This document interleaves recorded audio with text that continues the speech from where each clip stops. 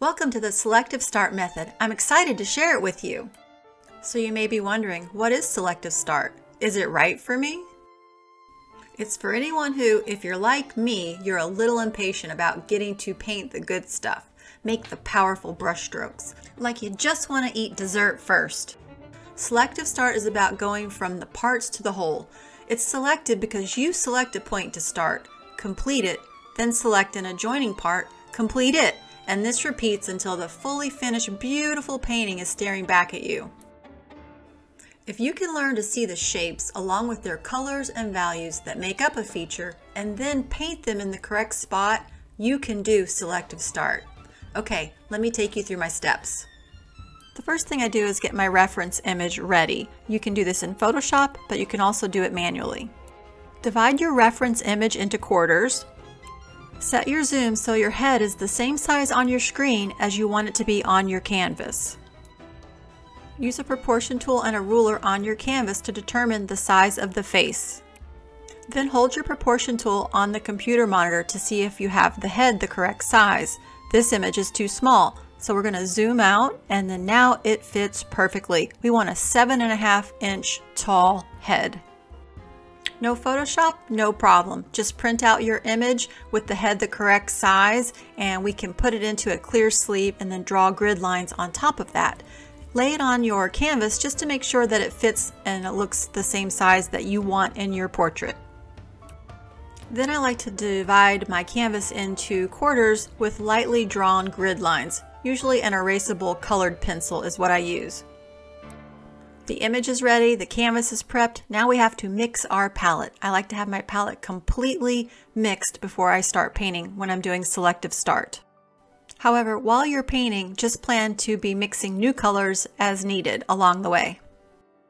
Okay, palette's mixed, let's paint.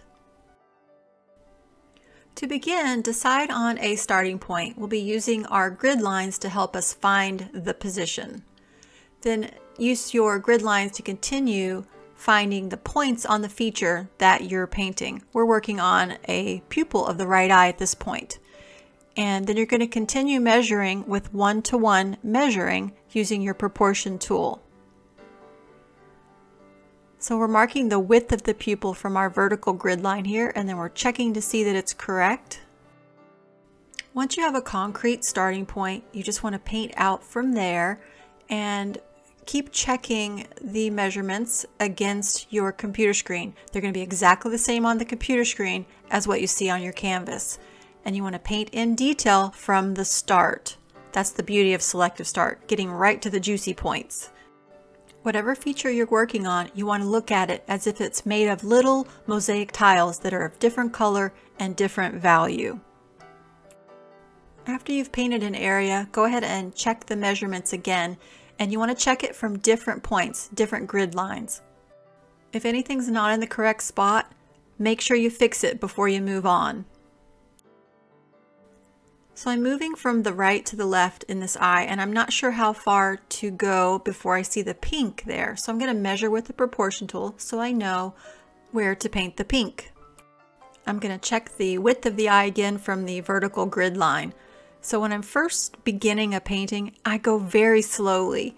I check my measurements quite often because everything that I'm going to be doing from this point moving forward is going to be based off of the position of this feature. So it must be correct. When something's wrong, make sure you fix it right away. So we just saw that that lower lash line was a little bit too far down. We fixed it, we measured it again, and now we know it's correct. I like to set up my uh, canvas with my palette on the right side because I'm right-handed and then my computer screen is very close there on the left.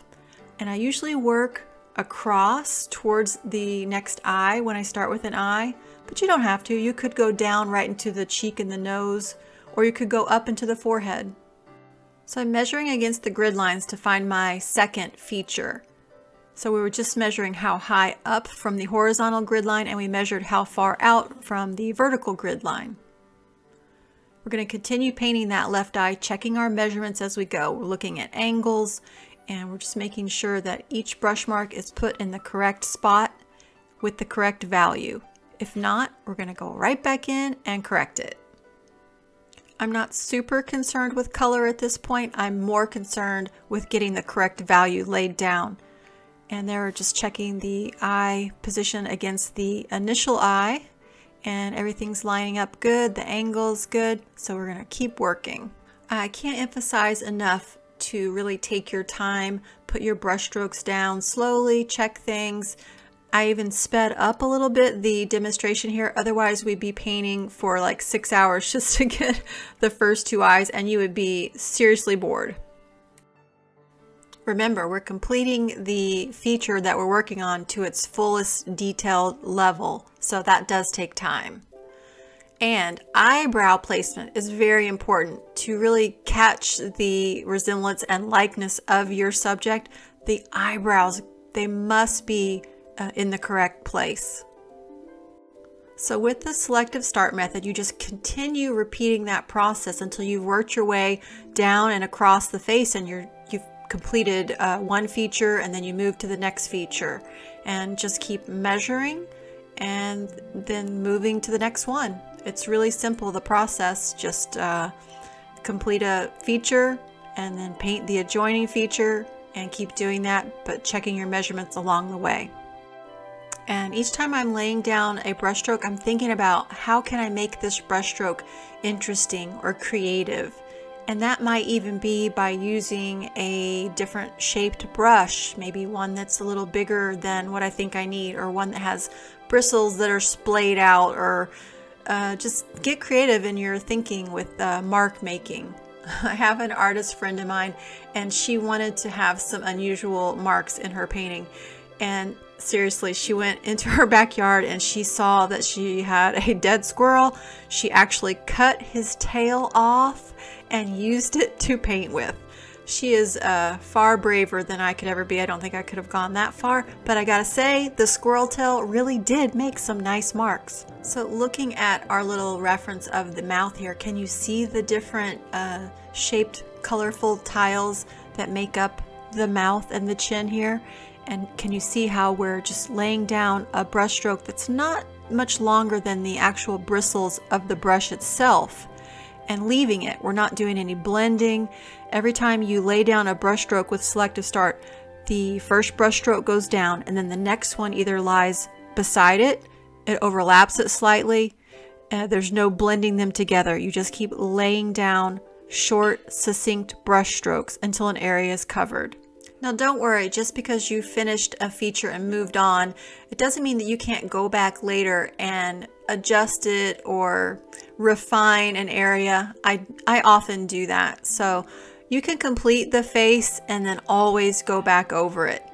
So to help soften up some of my edges, I like to lightly dust over my portrait with a fan brush. I really find these useful and you can brush over an area and then paint detail back into it. You don't have to leave it too soft and fuzzy. That's not a great look. And then I also like to use rounds. That's one of my favorite brushes. I usually use uh, zeros, twos, fours. I stay pretty small. And then flats, I use those for the larger areas like the hair and the backgrounds. But my secret weapon brush is the comber it's like little combs and it makes such a beautiful mark. And when you're just laying down uh, bits of brush strokes, they kind of um, lace together and it just makes a beautiful effect. I don't use mediums a lot. I try to avoid them. Uh, mostly I am painting with just oil paint straight out of the tube, but I will use walnut oil on occasion. So let me just review. I started with the right eye, moved across the face to the left eye, then I came down, did the cheeks, painted the nose, then we moved into the mouth and chin, and then we came back up to the forehead. The eyebrows always make a good stopping point uh, if you're going to save the forehead for later. Uh, it's nice when you stop painting an area to leave a little bit of flesh color around a feature so that when you're painting back into it, it kind of blends together more gently and it's not leaving a really hard line. Good portraits have a variety of edges and line throughout them. You want soft edges, hard edges, and in between edges. And having the correct uh, combination of those can really make your portrait look masterful. So with this portrait, I was really looking to emphasize the focal point, the area where I want the viewer to really um, look at first or notice the most, and that would be the right eye. And in order for me to have that happen, I needed to have the most contrast and the highest degree of detail in the right eye, the focal point. And so what that means is that anything that's further away from that focal point is going to start to get blurrier and softer. So I made sure to paint the left side of the face and then a little bit further down like towards the mouth with soft, soft edges. So you can choose to follow the selective start method with any portrait that you want to paint. You just have your reference material in front of you, pick a part or a feature to start with, measure and get that um, starting point solidified on your canvas and then continue through the steps until you complete that feature then move to an adjoining feature and you continue that same process repeating it over and over until you've painted the entire face. So once you have the entire face down, you want to double check your measurements, make any refinements and finishing details, and at the end, you're going to have a beautiful, expressive portrait.